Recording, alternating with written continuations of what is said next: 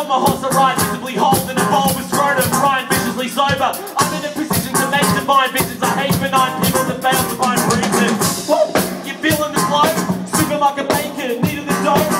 Come and sacred, feeling the flow of immaculate. You focus on your notice like calculus. Oh, stand, stand, oh. I'm too drunk to fucking rap, sorry. It gave me a Trumpet, lot- that's up. It gave me a lot of liquor. Trumpet, ladies and gentlemen.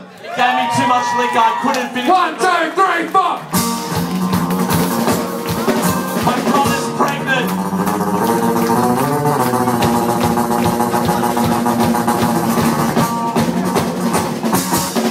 Stop. Ezekiel, you're too late. Ladies and gentlemen, thank you very much. That was a bit awkward there at the end because we didn't know what to do. But I'm um, give us a big round of applause and Trent Manassa a bit of a shout out there. Yeah!